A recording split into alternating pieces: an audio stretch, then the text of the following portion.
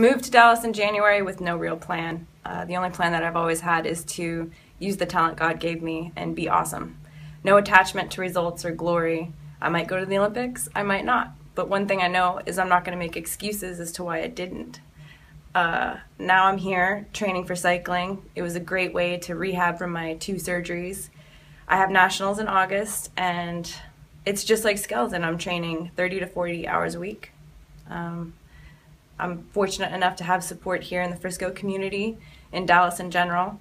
Um, thanks to you know the performance vault letting me train there, and the athletes here letting me train with them at the at the Frisco track, and Carrick Brain Center supporting me.